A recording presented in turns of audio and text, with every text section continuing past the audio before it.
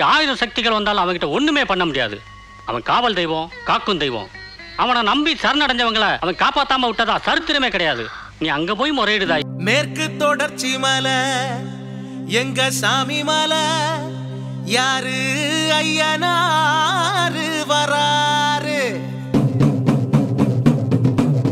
வீரம் விளைஞ்ச மண்ணில் வெற்றி தலகோகிட்டு பாரு.